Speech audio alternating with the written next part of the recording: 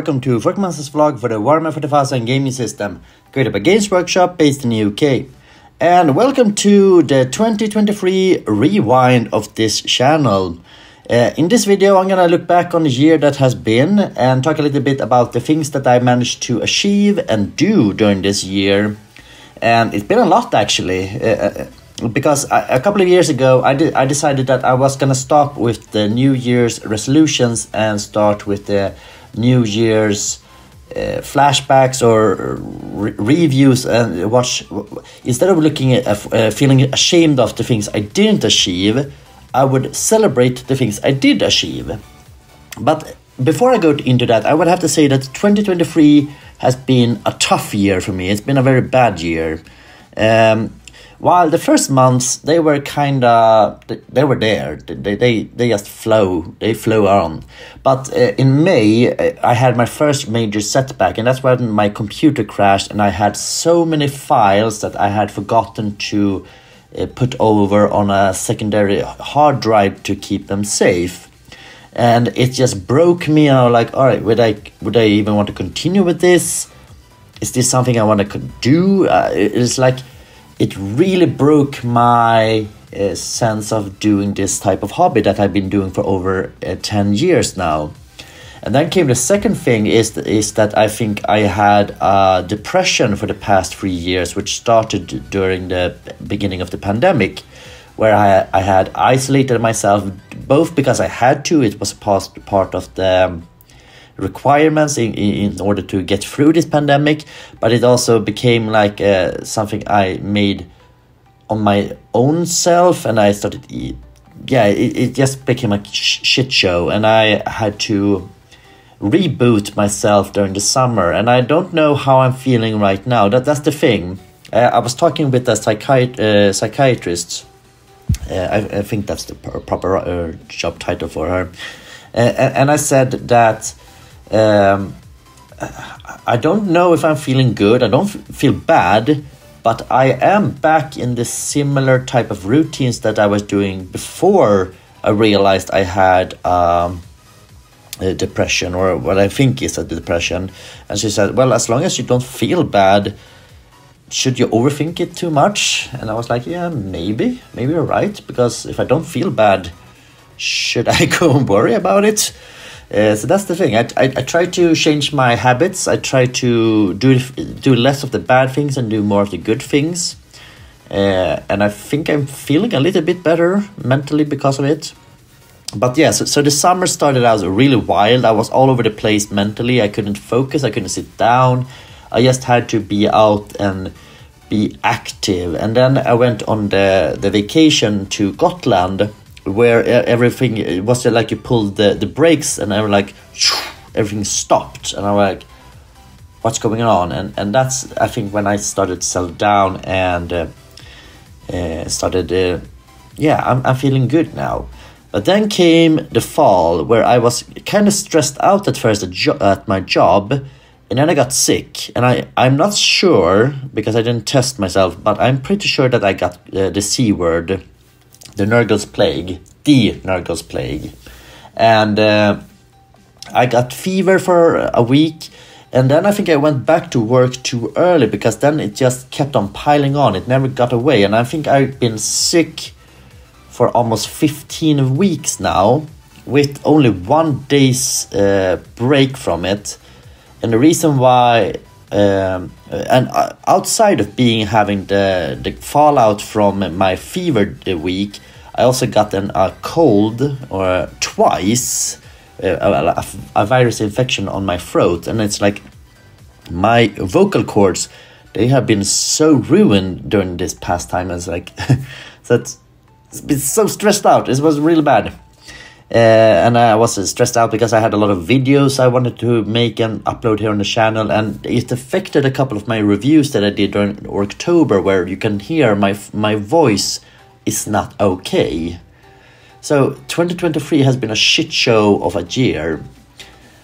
But yeah, so that's that's just the overall thinking of it all. Now we're gonna go into the progress. What have I actually managed to do? And I think we can start with the smaller things which is going to be the best short stories that I've read during this year. So I read the the several short stories in the Space Wolf series. I don't. I think it's. I think it's just uh, collected into a novel format that is called Space Wolves, uh, and it's available in a, another um, anthology called the Sagas of the Space Wolves or something like that. And I, I read all of them. I think they were good, but it's like they started with one thing and then they it took such a long time. So you almost forget about what the hell are you even doing in this uh, this um, series.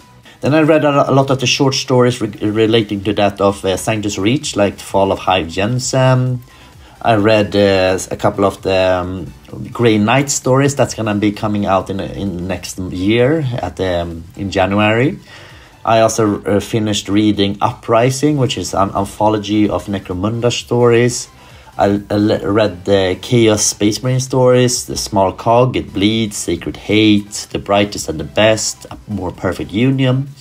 But I would say my favorite short stories of this year is the anthology of No Good Men, which is the second book you would you could call in the Warhammer crime etiquette uh, I haven't read all of the short stories in that anthology. I have one left, and that's because I haven't read the first novel, which technically is a prequel, or the short story is a sequel to that. So I didn't want to read it ahead of time, but I wanted to include it here on this list because should I save it just for the next year? And I don't even know if I'm going to be finishing it by then. So I was like, no, I'm going to keep it on this year's um, inclusion. And I think it's a really good anthology, so I highly recommend that you read it. I also read Shane's and the Slate Run, which is also uh, Shane uh, Warhammer crime related short stories, and Clear as Glass and Once a Killer, both part one and two. So all my favorite short stories this year has been Warhammer crime related, and, and I think I, I should actually start um, putting up those reviews. I'm thinking about doing something called Noir Vember, where I review all the Warhammer crime series uh, books and stories and such. But yeah, so those are my favorite short stories. Then we can go over to the best novellas that I read this year. I haven't read that many novellas this year. I read The Knights of the Imperium, which is, as it said, uh, about Imperial Knights. I read Low Lives, which is a um, Necromunda novella, and it's also the last novella that's out currently in the um, what you call it, supplement or uh, available availability. There might be some old uh, novellas that I haven't read, but it is in my pile. But I think it's the last one that, uh, at the moment. I will have to check that out. Then I read an Iron Hands uh, novella called Medusan Wings, Wings, which was really good. It more or less just uh, give you a good portrayal of the Iron Hands, which I think has been very overlooked in, in the um, fiction. They are very one note side noted, but I think they were really good and well written in this uh, novella, so that's why it's one of my favorites. And then I also included Maledictus, which is very fascinating because it's the turning point for me because I haven't been a huge fan of the Grey Knights in the past. I, I even uh, downgraded a novel by Aaron Dembski-Bowden, one of my favorite authors, because he wrote about the, the Grey Knights and was like, yeah, that's not for me. I'm currently rereading it for the first time in 10 years, and my perspective on the whole thing has definitely changed. So there's going to be a review uh, changed up for that in next year as well. But uh, since that was so re revolutionary in that it made me like the Grey Knights, it also got me into. Um, uh, and I think the reason was uh, because I started playing Chaos. Um, what do you call it? Chaos uh, Gate Demon Hunters and then I started reading these stories afterwards. I was like, all right, I'm, I'm hooked. I, I still don't like how they look, uh, but I like the idea of the Grey Knights, if you get my, my thing. Well, I don't like that they are so clean, but I like some idea of them. But anyway, so that's my favorite two novellas I read this year. And then I read, uh, listened to several audio dramas. First of all, we have Sanctus Reach uh, Claw of Mork, Sanctus Reach Ice Claw, then we have the Grey Knight Stories True Name and Incorruptible. Two of those I've already up on my channel, and they were affected by my voice there in October. So I'm going to be careful, more careful this year and trying to get out my reviews much earlier instead of uh, pushing it on a little bit. Uh, and then I also read uh, the for for the first time listened to some Horus Heresy stories in a while. Konrad Curze, A Lesson in Darkness, and Malcador, the First Lord of the Imperium. And uh, I don't think I talked about this, but in tw 2019, I think it was 2019, I had my last couple of reviews of Horus Heresy related stories. I haven't re reviewed anything in the past four years. And I, I think I reached a point where I had a little bit of burnout when it comes to the Horus Heresy because I was reading all the stories. I was doing all the models and I was like there's there's too much of it in, at the same time and I had a burnout. So that's when I started uh, going back to 40k stories, which I had uh, pushed to the side. It was like I, I don't like these as good as the Horus Heresy stories, but it was a switch around there, and it's been very fun to rediscover 40k and reading these stories. But I've also felt the same here rediscovering 30k and Horus Heresy. Uh, but I have made a promise to myself that I will acquire all the stories, all the books, before I start reading them, and then I'm gonna read them in chronological order of the stories that I have left because I, of course I have already done several several reviews already and they are out of order but the stories that I have left I'm gonna try and do in some kind of either chronological or type of systematic order but I'm still waiting for the last two the last two uh, Horus uh, Siege of Terra books, which is uh, End and Death Part two and three. So I still have, oh, still have those left. But then they're still keeping pumping out short stories from uh, left to right. I'm like, God, you're supposed to end the series. Stop making stories. And I, I started to think like, will I actually want to read these short stories? Because uh, just yesterday uh, when I'm recording this, I, saw that they have uh, put out a Horus Heresy story that sets on Isstvan 3. And we're like, it was 10 years ago that when Isstvan 3 was still re relevant. Move on! End this series. Like, you can't. You can't milk the Horus Heresy too much. That's uh, that's we already have almost 70 books and anthologies. You can't keep on pu pumping it out. And if you're gonna pump out short stories, do them in anthologies. I don't want to buy them separately. It's such expensive stories. Sorry, mini rant here. Anyways, uh, so my favorite audio dramas for the year, Konrad Curze and Malcador. And then we can go over to best movies. I haven't watched that many movies uh, this year, but I have watched Indiana Jones and the Dial of Destiny. I think. Oh, this is a tough one because it's better in many regards than uh, the Kingdom of the Crystal Skull, but Kingdom of the Crystal Skull still felt like an adventure movie, which I don't think Dial of Destiny felt like. Do you, do you get my feeling that uh, you can still feel the connection between the fourth and the original trilogy?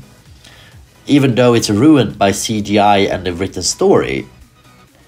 But then I also uh, looked. Uh, I started to re um, get back on Marvel because I haven't uh, keep, kept up with Marvel in, uh, movies in the last year. So I watched Black Panther, Wakanda Forever, and considering that the main character's actor died in between um, these movies, I think they did the best they could with the source material, and I think it was an actual heartfelt story. It was a lot of uh, grievance in it. Uh, so I think it was really good. And then I watched the Guardians of the Galaxy Holiday Special, which I think was a fun, kind of okay middle chapter showing you where everyone was at the time. Uh, but my favorite movies that I saw this year is Barbie. Uh, but at, at the time when I added this on this list as my favorite, uh, I would say it's, it's a really funny movie and it has some sort of a deeper message. But I've also seen several reviews that criticizing that it's very very surface level feminism. Uh, and I can agree to a certain part that they should have dived even deeper, but it still resonated well with me, so it's still my favorite. And then we have Guardians of the Galaxy Volume 3, which also is a good, uh, really good movie. I would say though that uh, the problem with Guardians of the Galaxy 3 is that it ends like it's uh, setting up that it should be at least one more movie. It feels like a middle chapter. Like uh, Star Lord and um, the girl that he was in love with in the first two movies, they don't end up with each other in this movie, and it feels like, all right, we have set up that they don't hate each other now. Now you're gonna get together in the next movie, and it feels like it feels uh, like several threads are, are left unopened there. So it should, uh, yeah, it is that that's my only complaint about the movie. Everything else I really enjoyed about it. Then we're to talk about best TV series.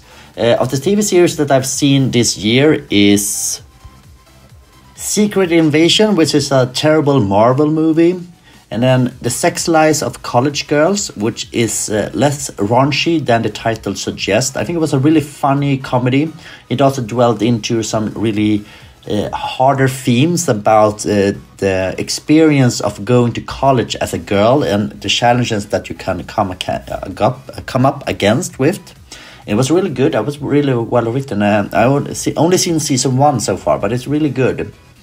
Uh, and then I also watch. I've I haven't seen the whole first season, but The Last of Us I've seen, and the, the thing I've seen so far is really good. It's a really good adaptation of the game, even though I I think it's really sad that they didn't get. Um, the the Scottish guy from 300 to play Joe because he looks identically to him.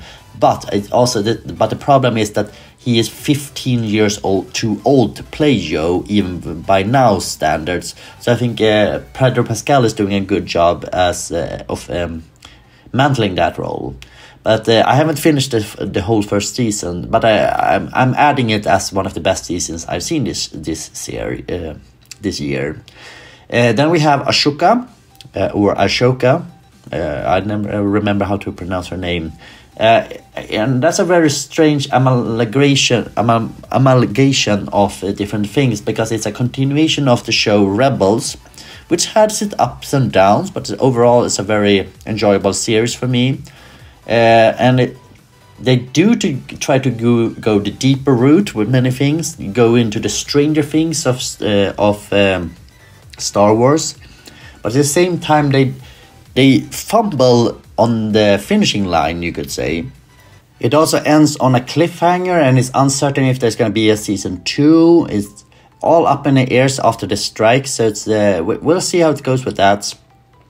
But then I watched two uh, um, Warhammer Plus shows that I'm actually gonna put as my favorite, and that's gonna be Black Talon, which is an Age of Sigmar show. Even though I'm not that invested in Age of Sigmar, I really liked that show. It had a lot of depths depth to it. The same thing is with Interrogator, which is a 40k show. Two really good shows that I highly recommend that you watch. Interrogator also comes out as a feature length film format now that you can see watch in all one go, which I also recommend that you try and do. Uh, moving on to the next is the best games that I played this year. Uh, we have two games that is very low on my list. Uh, it's only because they're new that I mentioned them, but it's Chronology and Story of My Uncle. The first one actually has a really cool mechanic of time travel where you see a world before and after a disaster, and you can travel between them when you try to do puzzles, and it's, it's really fun. But it's uh, it's a it's a game that you can finish in one evening, uh, unless if you get stuck on several of the puzzles. The story of my uncle is this is um uh, is um an, an what do you call it puzzle game uh, or a platformer where you try to travel through different parts of a uh, of a world with a super suit. Uh, it's just uh, um, platforming. Uh, and then we have Sanctus Reach, which is a game that when you're playing actual missions, it's quite fun. But when you're just playing skirmish mode, which is uh, like 70% of the time, it's not equally as uh, uh, fun to do. But uh, I also try, uh, try um, tried out the alpha and beta versions of Rogue Trader, which I found very good. It's gonna be interesting to see how the full games develop now that I've it's been fully released. I haven't tried it yet, but it's on my to do list. I will add it on this next year's list because I've only tried the alpha and beta, and I don't think they are uh, justifiable, if you call it. I, I, think you need to play the full game to fully understand. So uh, technically, I'm, going to call it just the beta or alpha versions on the best game here, but it uh, the full game is going to be a separate ent entity. But my favorite game of the year, even though it's not the best of the series, is Hitman 3. It's uh, I have so many hours put into that, and I still have many hours more to put into it further. So it's my favorite game of the year. Then we can go into my best novels.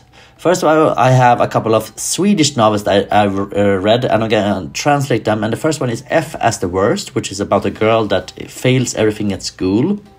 It's really good. It's about the feeling the, the tightness and the hardship of uh, starting a school uh, in a Swedish uh, school in uh, the uh, what is it sixth grade I think when you're 12, 12 years old. Then you have two erotic novels, Hold Him Tight and Un The Unwilling Cooperation. It's, they are actually written by a friend of mine.